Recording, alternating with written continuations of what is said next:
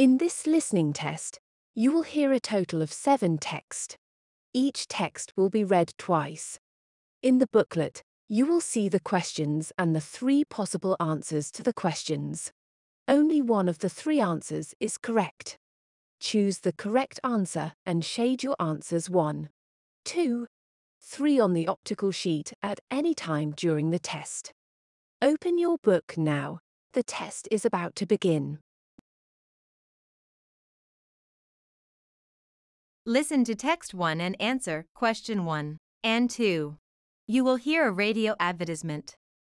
Snow in Singapore. That's right. Kitty Ice Castle is finally here in Singapore. You can start visiting our cool retreat this month from 19th November. We'll have our grand opening celebration on 3rd December. Visitors will be treated to a warm welcome by a spectacular marching band at the car park outside the Ice Castle. The usual ticket price is $10 for children and $25 for adults. For the whole month of the grand opening, all tickets are at half the usual price. To top it all, one child gets in free with every two adults. Once inside our winter wonderland, you can skate while viewing grand ice sculptures. The theme of the sculptures changes monthly. For this month, we will feature beautiful wild animals. Next month, you can see giant plants and flowers. For the new year, visitors will be greeted by sculptures of planets. Visit us in the month of your favorite theme, or better still, come every month. Question 1. John's parents are taking him and his little sister to Kitty Ice Castle during their primary school holidays in December. Which picture shows their ticket purchase? Question 2. Which poster correctly shows the display at Kitty Ice Castle during the grand opening? Listen to text 1 again. Snow in Singapore. That's right. Kitty Ice Castle is finally here in Singapore. You can start visiting our cool retreat this month from 19th November. We'll have our grand opening celebration on 3rd December. Visitors will be treated to a warm welcome by a spectacular marching band at the car park outside the Ice Castle. The usual ticket price is $10 for children and $25 for adults. For the whole month of the grand opening, all tickets are at half the usual price. To top it all, one child gets in free with every two adults. Once inside our winter wonderland, you can skate while viewing grand ice sculptures. The theme of the sculptures changes monthly. For this month, we will feature beautiful wild animals. Next month, you can see giant plants and flowers. For the new year, visitors will be greeted by sculptures of planets. Visit us in the month of your favorite theme, or better still, come every month. Listen to text 2 and answer question 3 and 4. You will hear about a visit to a shopping center. Linda was waiting at Sunshine Shopping Center when her friend James finally appeared. James, you're so late. I've been outside this ice cream shop for the past 20 minutes. I'm sorry. I was quite early for our appointment, so I went to the Mega Bookstore. I totally forgot the time. Are you keen to go there? James asked. Yeah, perhaps another day. Let's go watch a movie instead, Linda suggested. She dragged James to the cinema, but there were no interesting movies available. It's almost lunch.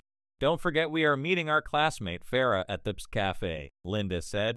As they were walking there, James noticed a gift shop. Let's go to the shop, James said. I need to get a keychain and pencil case. After completing their purchase, they left the shop happily. James said excitedly, the bookmark was such a bargain. Glad I got it instead of the nice water bottle. It was so hard to decide. It's a pity you didn't see any pencil case that you liked, Linda remarked. Right, but a new bag for school more than makes up for it. Shall we go to the indoor garden now? James replied. Let's meet Farah first and then go there, Linda said. They had a great time together when they finally met up and visited the places they had planned. Question 3. Which of the three lines shows the route James took in the shopping center? Question 4. What were the items bought at the gift shop? Listen to text 2 again. Linda was waiting at Sunshine Shopping Center when her friend James finally appeared. James, you're so late. I've been outside this ice cream shop for the past 20 minutes. I'm sorry. I was quite early for our appointment, so I went to the mega bookstore. I totally forgot the time. Are you keen to go there? James asked. Yeah, perhaps another day. Let's go watch a movie instead, Linda suggested. She dragged James to the cinema, but there were no interesting movies available. It's almost lunch. Don't forget we are meeting our classmate Farah at the cafe, Linda said. As they were walking there, James noticed a gift shop. Let's go to the shop, James said. I need to get a keychain and pencil case. After completing their purchase, they left the shop happily. James said excitedly, the bookmark was such a bargain. Glad I got it instead of the nice water bottle. It was so hard to decide. It's a pity you didn't see any pencil case that you liked, Linda remarked. Right, but a new bag for school more than makes up for it. Shall we go to the indoor garden now? James replied. Let's meet Farah first and then go there, Linda said. They had a great time together when they finally met up and visited the places they had planned. Listen to text 3 and answer question 5, 6, and 7. You will hear a conversation between two friends. Hi, Amy. I haven't seen you since the last charity run in our neighborhood estate. What are you doing here? Hi, Raj. I'm getting some things for a picnic at the East Coast Beach. Oh, you may want to get an inflatable pillow. Lying down on your picnic mat at the sandy beach will be so comfortable. You're lucky that this supermarket has everything. In terms of comfort, I'd prefer a portable fan. That might not protect you from the sun or rain the way an umbrella does. You're right. Besides, I wouldn't want any uninvited guest swooping down on my food. I'll also buy some plastic bags to keep any leftover food. This will keep ants and rats away. Of course, I won't forget the insect repellent. Great!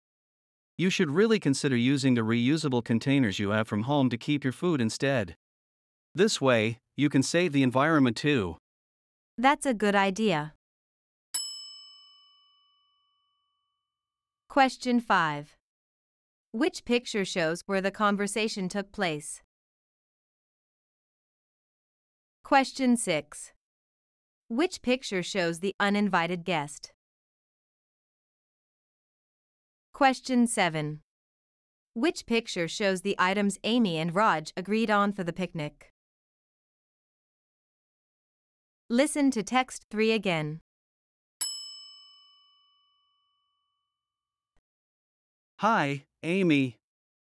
I haven't seen you since the last charity run in our neighborhood estate. What are you doing here? Hi, Raj. I'm getting some things for a picnic at the East Coast Beach. Oh, you may want to get an inflatable pillow. Lying down on your picnic mat at the sandy beach will be so comfortable. You're lucky that this supermarket has everything. In terms of comfort, I'd prefer a portable fan. That might not protect you from the sun or rain the way an umbrella does. You're right. Besides, I wouldn't want any uninvited guest swooping down on my food. I'll also buy some plastic bags to keep any leftover food. This will keep ants and rats away. Of course, I won't forget the insect repellent. Great! You should really consider using the reusable containers you have from home to keep your food instead. This way, you can save the environment too. That's a good idea. Listen to text 4 and answer question 8, 9, and 10. You will hear a school announcement. Our school will be celebrating the annual Friendship Week with special activities for students this year. Outside the library, there will be a booth selling gifts. This year, we are replacing the colored highlighters with ballpoint pens as more students bought these last year. You'll be happy with our wide selection of flowers on sale too. Add on a balloon or soft toy to your purchase and we'll deliver the gifts to your schoolmates in a colorful bag. All sale profits will go towards the School Improvement Fund. In the hall, a photo booth will be set up. Bring your own props and pose in as many different ways you wish to get that fun shot. Our photographers will give ideas too. For the last activity, you can take a video of you and your friends shaking hands. This is a polite form of greeting when we meet people. Do you know, in ancient Rome, the handshake was often used as a symbol of friendship and trust? Upload the video on the school's website and stand a chance to win attractive prizes. The more creative, the better. Question 8. Which items are not sold at the booth outside the library? 1. Highlighters and balloons. 2. Flowers and soft toys. 3. Bags and highlighters. Question 9. At the photo booth, students can 1. Take photographs on their own. 2. Get advice on ways to pose. 3. Use the props provided. Question 10. Why is the competition a meaningful activity for the celebration? 1. Handshakes have been a sign of trust since ancient Rome. 2. It is polite to shake hands when people greet one another. 3. Making handshake videos allows students to be creative. Listen to text 4 again. Our school will be celebrating the annual Friendship Week with special activities for students this year. Outside the library, there will be a booth selling gifts. This year, we are replacing the colored highlighters with ballpoint pens as more students bought these last year. You'll be happy with our wide selection of flowers on sale too. Add on a balloon or soft toy to your purchase and we'll deliver the gifts to your schoolmates in a colorful bag. All sale profits will go towards the School Improvement Fund. In the hall, a photo booth will be set up. Bring your own props and pose in as many different ways you wish to get that fun shot. Our photographers will give ideas too. For the last activity, you can take a video of you and your friends shaking hands. This is a polite form of greeting when we meet people. Do you know, in ancient Rome, the handshake was often used as a symbol of friendship and trust? Upload the video on the school's website and stand a chance to win attractive prizes. The more creative, the better. Listen to text 5 and answer question 11, 12, and 13. You will hear a TV host interviewing a project leader. Thank you, Christina, for sharing about your community projects, which aims to spread the joy of reading to remote villages. What made you think of such an idea? There are many villages that are located in high mountains with narrow trails that are impossible for cars to reach. Being able to bring the world to them in the form of books is therefore an important task. I thought of a practical way, which is to load books on the backs of donkeys. We call them the book mules. Do the villagers look forward to seeing the book mules? For sure, Anyone who is not out working in the fields will be waiting for us. The children in the school are particularly excited. They cheer when they see the animals and help unstrap their load hastily. Personally, I find it rewarding that my idea of a four legged library can give so much joy. Library with legs. That's awesome. Are there plans to expand the project? Now that the living conditions are improved with electricity and water supply reaching the villages, we can bring laptops on the mules to help the villagers contact merchants to sell their vegetables and fruit. The newly built hospitals will be better equipped when our mules transport medicines to them. How do you think our radio listeners can contribute? We certainly need more mules, but I'll get round that problem soon. You can give your old books a new lease of life by sending them to us. We are not in need of money as much as these donations. Eventually, we hope to better the living conditions of these villagers and boost their incomes. Question 11. How can we tell that the villagers appreciated the book mules? 1. they named the animals four-legged library. 2. They welcomed the animals as they unloaded the books. 3. They stopped all their work in the fields to wait for the animals. Question 12. Which statement is true about the plans of the community project? 1. Provide electricity and water supply to the villages. 2. Connect villagers with more business partners. 3. Build hospitals with better equipment. Question 13. What is one aim of the interview? 1. Request donations of books. 2. Boost incomes of the villagers. 3. Appeal for money to buy mules. Listen to text 5 again. Thank you, Christina, for sharing about your community projects, which aims to spread the joy of reading to remote villages. What made you think of such an idea?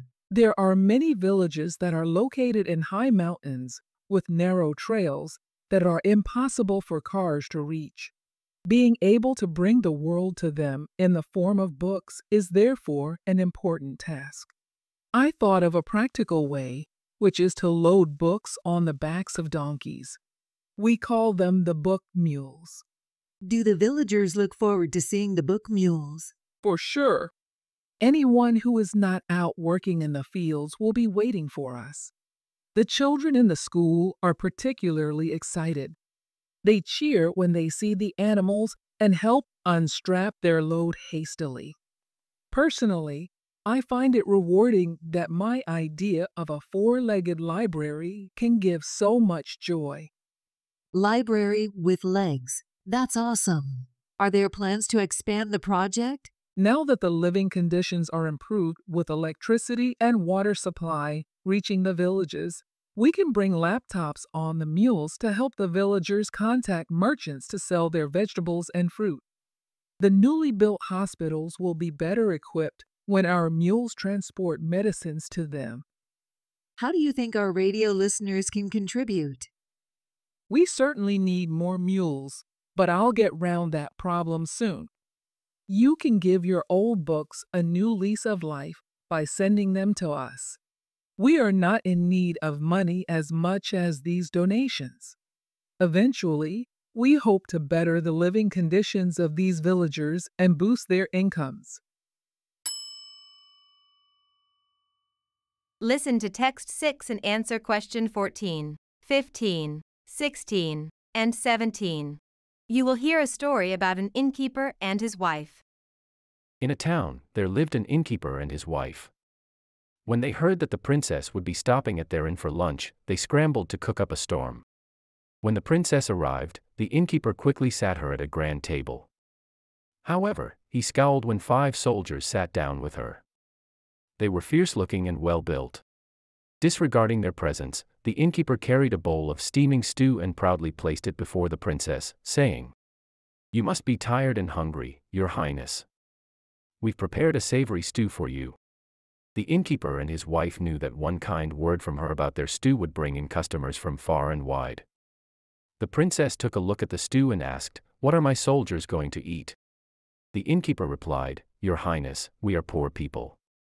Our cupboards are almost empty and we can't afford to feed them. Slowly, the princess tasted the stew and said, This needs more salt. Right away, Your Highness. Retrieving the bowl, the innkeeper hustled to the kitchen with his wife. A moment later, they returned with the salted stew. The princess took a small sip and frowned. She said, Oh, now it's too salty. Thinking on their feet, the innkeeper and his wife poured the stew into a larger pot and quickly added more carrots and potatoes to make the stew less salty. They grinned because they believed they had the perfect stew. Unfortunately, when the princess tasted it, she complained that it had too little spice in it. After the couple added more spice, she remarked once more that the stew was too spicy. Eager to please the fickle princess, the couple poured the stew into an even bigger pot and threw in more ingredients. When the princess tried the stew yet again, she took a second spoonful. The innkeeper and his wife were overjoyed. Finally, the princess was satisfied and said with a big smile, Innkeeper, I believe that there's enough stew to go around now. The innkeeper and his wife lowered their heads and fell silent. Question 14. Why did the innkeeper and his wife not serve the soldiers? 1. They felt that the soldiers were unimportant people. 2. They were frightened by the strong and fierce soldiers. 3. They thought that the princess was hungrier than her men. Question 15.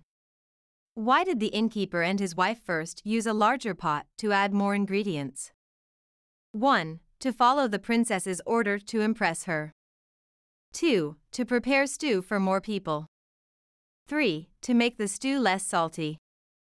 Question 16. What would the innkeeper hope to hear in the end? 1. Innkeeper, I believe that there's enough stew to go around now. 2. Innkeeper, how do you make such tasty stew? 3. Innkeeper, your stew has lots of spice. Question 17. How had the innkeeper's feeling changed by the end of the story? 1. Excited to dismay. 2. Eager to satisfied. 3. Proud to fearful. Listen to text 6 again.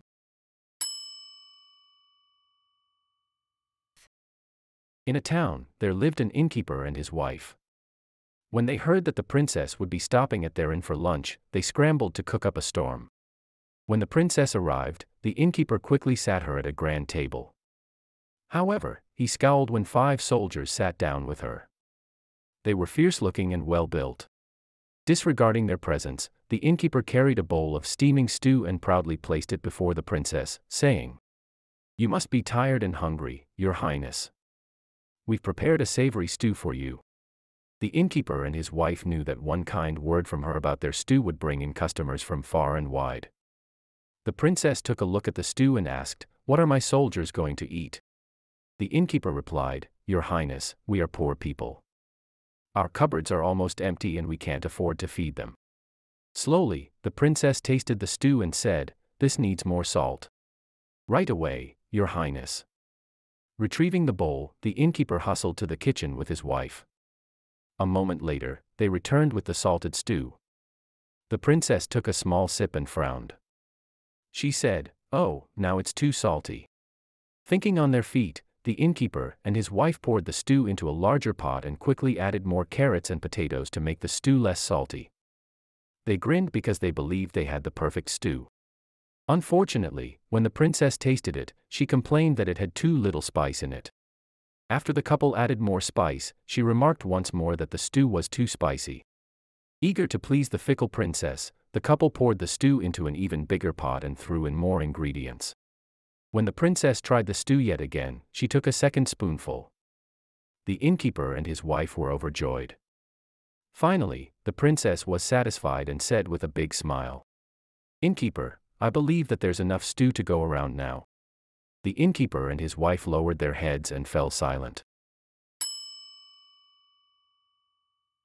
Listen to text 7 and answer question 18, 19, and 20. You will hear a talk. There are many types of journals that people keep. The most commonly kept journal is one where people record exciting events such as their holiday adventures. There is a lesser known journal where people keep track of New Year resolutions and achievements so as to stay focused and motivated. One type that is gaining lots of followers both young and old around the world, is the Gratitude Journal. It simply documents the things for which people are grateful. Many people who keep gratitude journals claim that it helps keep them calm amidst daily demands. Other than that, it can give them new perspectives on what they truly appreciate in life. When they are sad, they read through the journals to be mindful of the good things in life.